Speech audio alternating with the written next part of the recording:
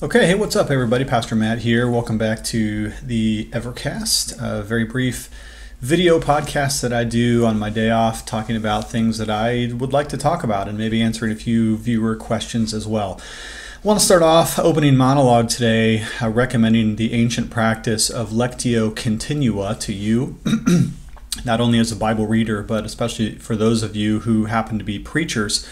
Lectio Continua is the uh, ancient practice of reading through entire books of the Bible at a time, or especially preaching through entire books of the Bible at a time. Now, let me give you a little historical context of here. Of course, uh, the idea of a lectionary goes back many, many centuries.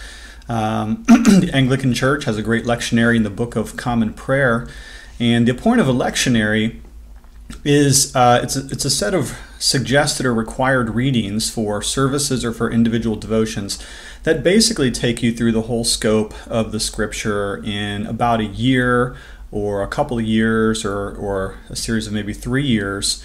And it's a sampling of, of readings of various uh, books of the Old and New Testament such that you get a broad spectrum of the whole history of redemption if you follow the lectionary.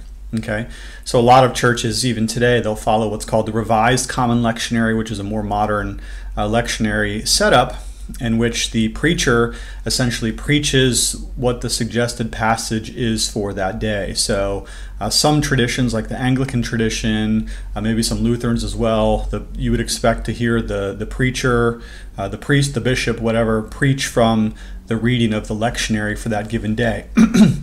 now, that has given way, of course, to uh, the evangelical world where we don't tend to follow lectionaries or any guidance, really, for that matter. Uh, part of the problem with the evangelical world is that uh, it's kind of like the last verse in the book of Judges where everybody does whatever they wanted to do. And so today, one of the more common ways of preaching is to preach a series, a topical series, you know, six weeks on marriage or eight weeks on parenting or, um, you know, four weeks on how to be a better Christian in the workplace, those kinds of series.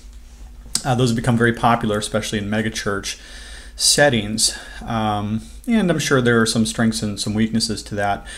But Lectio Continua is what I want to recommend today, and that's the idea of preaching through entire books of the Bible, essentially chapter by chapter and passage by passage. Now, going back to the history of the Reformation, it was the Swiss reformer Ulrich Zwingli, who's kind of a neat guy, died in battle. Interesting story. He's a contemporary of Martin Luther who during the Swiss Reformation, again, very, very contemporaneous with Martin Luther, uh, he began preaching through the Gospels. And if I'm not mistaken, he picked Matthew's Gospel as his first book.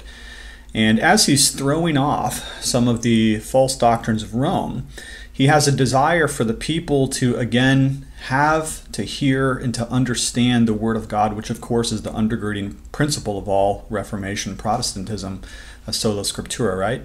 So he begins preaching through books of the Bible, starting with Matthew, this verse and then this verse and then this paragraph and this paragraph and this paragraph all the way through. It took him a long time to do it, as of course it would with a 28 chapter book like Matthew. Uh, to preach every pericope or a section would take quite a long time. And uh, that's one of the challenges, of course, with Lectio Continua preaching. But it also has some advantages as well. And it is for those reasons that I want to commend that practice. If anybody happens to be a preacher who's listening today, I would commend to you Lectio Continua as your preaching methodology. Here's why. First of all, we're going to give our congregation a full understanding of an actual book of the Bible. Uh, let's say it's the book of Romans. Well, that's an interesting suggestion because preaching through the book of Romans in its entirety has led to revival many times in uh, church history. Um, interesting that whenever the book of Romans is exposited with all of its great and glorious doctrines centered in the gospel of Christ, boom, you have these little pockets of revival happening. So there you go. Well, why does that follow? Well, because when we preach the whole counsel of God, as Paul recommended to the Ephesians in Acts chapter 20, uh, we tend to cover the things in preaching books of the Bible that we might ordinarily be tempted to skip. Okay, now I'm a pastor, some of you are preachers as well. And if you're not, you probably don't understand the tension that we preachers feel when we're in the pulpit. Uh, believe it or not, we're human beings and we sometimes are tempted to want to say things that people like. Okay, that's a temptation. Well, we need to be very careful with that in the pulpit because ultimately our goal is to say what the scripture says. And so when we preach Lectio Continua through books of the Bible, we end up having to deal with the passages that, you know, we might kind of want to skip over, like things on God's wrath or the blood of, of Christ or the urgency of, of holiness in the Christian's life. I remember when I was uh, preaching through First Corinthians, did the whole book, pretty much every chapter, pretty much every paragraph.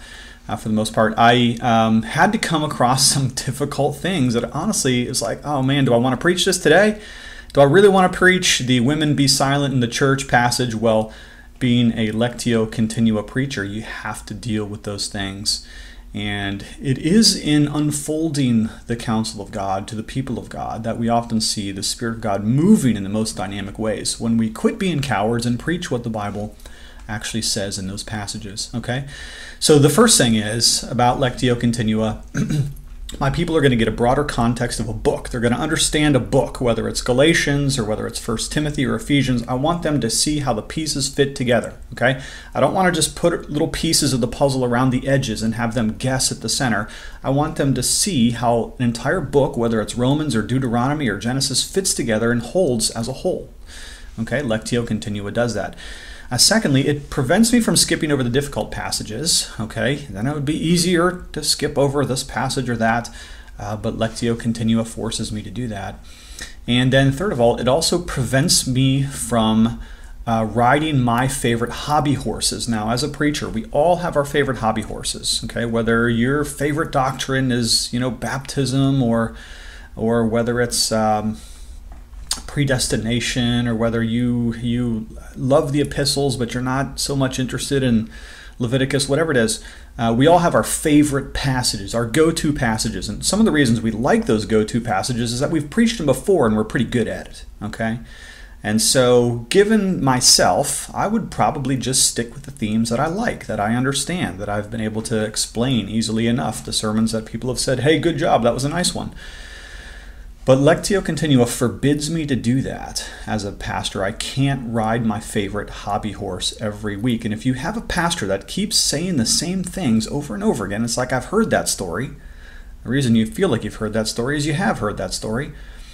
Um, Lectio Continua forces you out of that comfort zone as a preacher, and so that ultimately is a very good thing.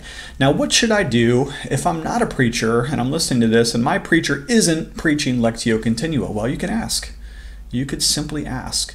Uh, pastors are people too, and sometimes a nice request comes through as, as very sincere. You could say, Hey, preacher, why don't you preach through this whole book and deal with every passage? Maybe he's never thought about that before. maybe he's so given to the modern evangelical six sermon series that he doesn't know how to break out of it, but he should, and I think the people will be greatly blessed for it. Okay, so you can read your Bible Lectio Continua. You can preach your Bible, Lectio Continua, and it's a very good thing when we do. One thing, somebody will say, well, what about Spurgeon? He didn't do it. Cool, Spurgeon didn't do it. No, he did not. He picked his favorite verses. Uh, and he got right to Christ in every single verse, whether he was preaching from Song of Solomon or Deuteronomy or Genesis or Nahum or Habakkuk or Matthew or Ephesians or Acts.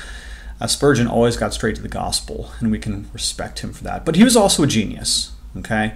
And I'm not, and you're not. Probably not a lot of geniuses watching this podcast, otherwise, you'd be watching something else. Uh, Spurgeon was an unqualified genius, and we shouldn't hold uh, geniuses up to our standard of practice. He could do some things that you can't, but maybe you can do some things that he that he wouldn't either. So even though Spurgeon didn't preach Lectio Continua, you probably can and should. Uh, Edwards did from time to time, not always. There were some times where he would uh, preach through a book, but there were many times that he did not. He would sometimes preach one chapter and do many sermons in a series, like his uh, series Heaven is a World of Love. Charity and its Fruits, actually, 1 Corinthians 13. Uh, but sometimes he did, not always. I think it's a good good thing to do. Okay, uh, that's enough of that. Um, let me go now to a quick ministry update. This Sunday at Faith Church, we ordained new elders and deacons to the ministry. Very exciting. Uh, happened to also finish up our Lectio Continua series on First Peter, and we finished up with chapter 5. Um, interesting that God would coordinate that. I wish I could say I was genius enough to plan it. Um, but 1 Peter 5 perfectly aligns with Ordination Sunday because of Paul's, uh, excuse me, Peter's challenge to uh, the elders of the church to shepherd the flock, flock faithfully. I'll get that out the third time. Shepherd the flock faithfully. Uh, that message is going to be up on YouTube, but it will be delayed because there was a problem with the video. It'll be audio only. So if you want to head over to the Faith Evangelical Presbyterian Church page, you can follow along with the finishing up of that series. A um, couple questions. Viewer questions. I'd like to take a couple viewer questions. Uh, a viewer whose name is Hong Han, hope I'm saying that correctly, asked me about expository preaching, especially with reference to Judges chapter 8. He asked for some help on how to outline that passage. How do you do expository from a narrative? Well, um, here's what I would say about narrative passages. Whenever you preach a narrative passage, you should illuminate it with doctrine or principles. And the converse is also true. Whenever you preach doctrine or principles, you should illuminate it with narrative. Um, those two things tend to go well together. So when you're preaching a narrative, like this particular passage in Judges, I would say look for the big controlling idea, the main central principle. In this case, it would be God's sovereignty and power over, as over against man's own strength. And so the main principle in this passage um, is that God can do all things and it's better to be among the faithful few than it is to be uh, amongst the mighty many. Uh, so I would do something like that. So illuminate narrative with doctrinal um, doctrinal assertions, and when you preach doctrine, like Ephesians or something like that, illuminate it with narrative uh, illustrations from the Old Testament or the New Testament. Okay. Um, let's see, one other question. Follow up on joy. Okay, so last week, if you watched, I talked about joy and Jonathan Edwards. And I had a great viewer comment from somebody who said, Hey man, love the fact that you led with your own struggle to find joy. Uh, you opened up, you shared from the heart, you talked about your struggle to find joy, your quest for it, and then you got to Edwards and you never came back and finished up the story with your own heart. So, what happened? Okay, well, uh, I'll say this. After I finished my dissertation on joy and happiness from Jonathan Edwards, um, I still continued to search for joy. Uh, I found it. I found it in Christ. I know it's there. But as a mortal, as a fleshly person made out of dust, uh, every day I'm choosing between the joys of this world and eternal joys in Christ. But I understand it better. And I think that's part of the fight, isn't it? Um, when we're fighting for joy, when life hurts, when the struggles of difficulties of trials come up, at least I know what I'm fighting for. I know where ultimate joy is. It's in Christ and Christ alone. And therefore, knowing that, we are less likely to be deceived and to chase after the false pursuits. So I can't say, and I wish I could, but I can't say, yes, now that I've mastered Edwards on happiness, I now know everything about joy and happiness and I've attained it. I have attained self actualization in this category. Uh, I no longer need to pursue the fruit of the spirit of, of joy. But that would not be that would not be true. I know where joy is found. It's found in Christ. But like you, uh, like all of us, uh, there are times where I battle blue, the blues. I battle uh, different struggles. I, I battle stress. I battle frustration, just like you do. But but here's the deal. Um, we know where it is, don't we? And that's what that's what distinguishes us from the unbelievers. Is that the unbelievers are like are like blind people groping around trying to find anything that will bring happiness. We Christians, we already have it. We have it through the power of the Spirit. We know joy is in the Word of God. And though we may struggle from day to day, at the end of the day, we know exactly where that great, sustaining, eternal happiness is found, and it's found in nowhere else but the gospel. Well, thanks for checking in today. I uh, love you lots. Hope this series has been helpful to you. Um, if it has, then feel free to like and subscribe. If not, no big deal. Lots of good stuff on the internet. Uh, this is just one of those things that is out there. Uh, it'd be cool if you'd subscribe to the Faith Church sermon page where you can hear my regular preaching. Also, I'll post a link to the uh, the Joy Edwards book in the description of this video. Again, thanks for checking in. Love you lots, and we'll talk to you next time. Have a great day.